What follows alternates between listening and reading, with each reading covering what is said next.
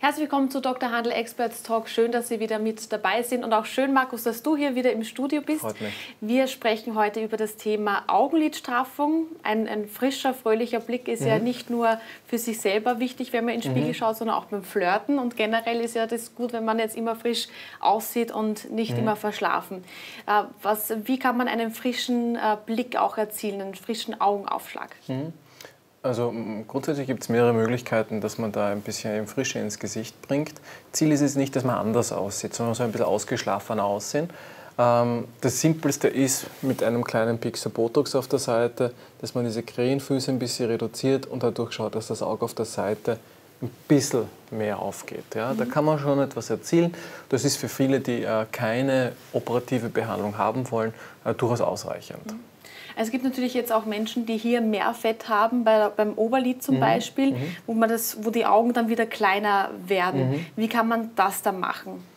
Mm, da gehen wir in das Thema äh, Oberlidstraffung mhm. äh, schon rein. Mhm. Das bedeutet, äh, wenn da sich im Laufe der Zeit Hautüberschüsse angesammelt haben, ja, meistens ist auch ein bisschen ein Fettdepot auch dann drunter, kann man das in einer kleinen Operation in Lokalanästhesie äh, korrigieren.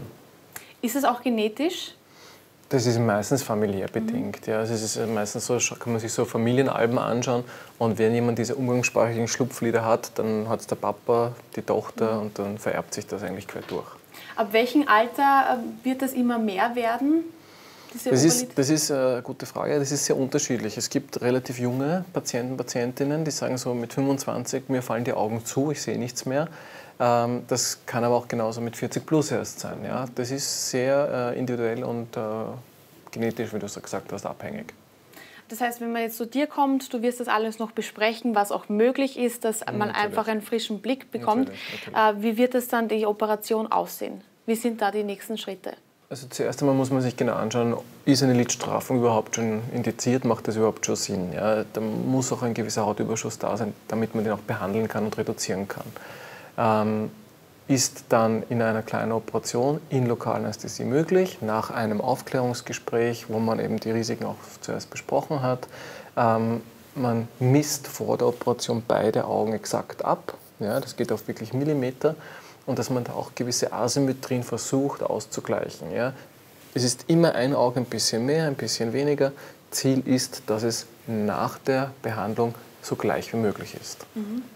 Wie lange dauert eine Augenlidstraffung? Die Operation ist eigentlich relativ zügig. Ja, das spricht man, dass man so um die eine Stunde herum braucht mit dem ganzen Drumherum. Wie gehst du jetzt vor? Wie kann man, wird das aufgeschnitten und ein Teil Fett äh, rausgegeben oder wie kann man sich das vorstellen, so eine Operation? Gibt es unterschiedliche Operationstechniken. Es hängt damit auch zusammen, wie die äh, Gegebenheiten, die Voraussetzungen sind. Ja. Es gibt die Operationstechnik, dass man nur etwas Haut entfernt. Es gibt die Operationstechnik, dass man einen kleinen Muskelstreifen und auch Fettgewebe mit entfernt. Das muss man bei jeder Patientin, bei jedem Patienten äh, sich individuell ansehen. Mhm. Wann kann man dann wieder rausgehen, dass man wieder normaler aussieht? Weil ich schätze mal, nach einer Operation ist man auch geschwollen. Ja, das ist äh, ganz sicher der Fall. Es ist erstaunlich eigentlich, wie schnell man nach den Behandlungen auch wieder fit sein kann. Ich sage, mhm. im Normalfall ist es eine Woche bis zehn Tage. Äh, ältere Personen, die eventuell auch ab und zu eine Blutverdünnung genommen haben oder eher zur blauen Fleckenneigung, äh, kann das natürlich länger dauern. Muss man vor der Operation an irgendwas jetzt achten, dass man äh, praktisch nicht raucht oder, oder vielleicht mhm. gesund isst oder muss man da irgendwie achten drauf? Na, es wird im Anamnesegespräch vor der Operation natürlich abgeklärt, ob es mhm. da irgendwelche Kontraindikationen gibt. Wie gesagt, die Blutverdünnung äh, darf es keine geben. Ja? Man mhm. möchte ja keine Hämatombildung haben oder irgendeine Nachblutung.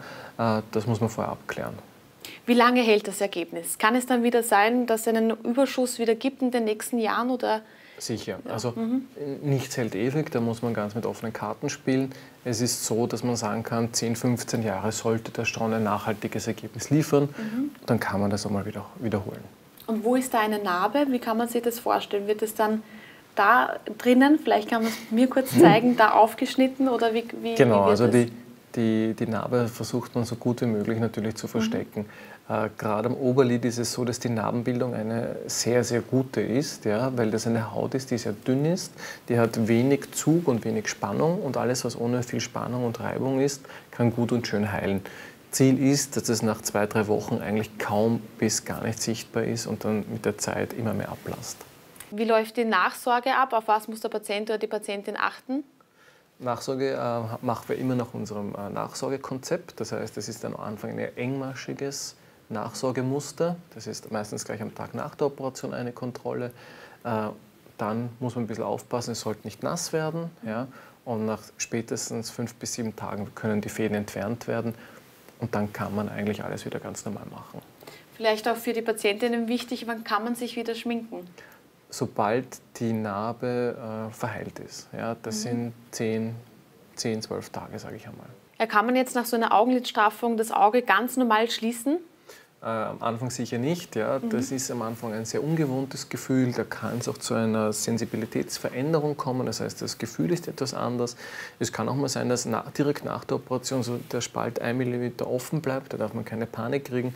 Ist alles geschwollen, das Gewebe. Das braucht einfach so ein paar Tage Zeit, bis sich das wiederholt und dann der Lidstoß und äh, die ganze Schwellung draußen ist. Aber Kontaktlinsen kann man normal tragen oder soll würde man da ich nicht. Würde ich auf keinen Fall eher tragen. auf die Brille dann Richtig. Zugreifen. Ich würde auf die Brille umsteigen, wenn man ein Brillenträger mhm. ist. Weil das wahrscheinlich gereizt werden kann oder eine Infektion vielleicht dann auch mm, hervorgerufen das würde ich gar nicht jetzt so mit dem äh, eins zu eins zusammenzählen, aber es ist einfach, dass man diese Behandlungszone, das Behandlungsgebiet möglichst in Ruhe lässt. Ja.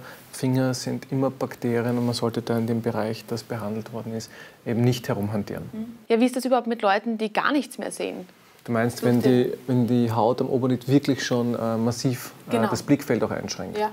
Ja, das ist dann auch eine medizinische Indikation. Ähm, dafür macht man einen Test beim Augenarzt. Das heißt, man muss schauen, ist das Blickfeld durch diesen Hautüberschuss äh, beeinträchtigt? Und dann hätte man auch äh, den Anspruch, das auf eine, eine Kassenleistung machen zu lassen. Mhm. Es gibt ja auch viele, gerade Patientinnen, mhm. die auch so einen asiatischen äh, Blickfang mhm. haben möchten, beziehungsweise umgekehrt, dass mhm. von den asiatischen Frauen gern mhm. eher zu europäischen ja, äh, Augen. Ja. Kann man das auch machen mit, mit der Oberlidstraffung? Also mit der Oberlidstraffung alleine nicht, ja, aber das ist äh, sehr richtig. Ähm, es ist sicherlich auch ein Trend von asiatischen Menschen, die in Europa mehr leben, dass sie, ich finde das eigentlich schade, aber ihr Alleinstehungsmerkmal, diese asiatischen Augen, mehr europäisch haben wollen, also mehr offen, mehr rund haben wollen, ist auch möglich in einer Korrektur der Oberlider. Ja, stimmt dieser Mythos, dass man dann das Augenlid gar nicht mehr schließen kann nach einer Operation? Also das ist natürlich ein Horrorszenario, was nicht eintreten darf. Ja, dass der Augenschluss ist nach der Behandlung natürlich genauso möglich. Ah, das, was mal sein kann, und das ist kein Drama, ist, dass direkt nach der Operation der Lidschluss nicht 100% erfolgt. Das ist einfach ganz logisch, weil das Augenlid ist komplett geschwollen, da ist noch Lokalanästhetikum drinnen und das dauert dann ein paar Tage, aber dann sollte der Lidschluss natürlich wieder ganz normal möglich sein. Mhm. Ab wann kann man auch wieder Sport machen? Wann ist man wieder total einsatzfähig? Kommt immer darauf an, was man jetzt als Sport bezeichnet. Also wirklich Leistungssport würde ich schon warten, bis die Fäden entfernt worden sind, bis das wirklich gut abgeheilt ist. Ähm, und dann steht eigentlich Sport nichts mehr im Wege. Ja, vielen Dank, Markus, für die Aufklärung und auch Sie, liebe Zuseher und Zuseherinnen. Wenn Sie einen Expertenrat brauchen, dann schreiben Sie Dr. Markus Handler einfach an bzw. rufen Sie an. Er wird da sicher auf alle Fälle weiterhelfen. Ich wünsche Ihnen noch einen schönen Tag und danke fürs Zusehen.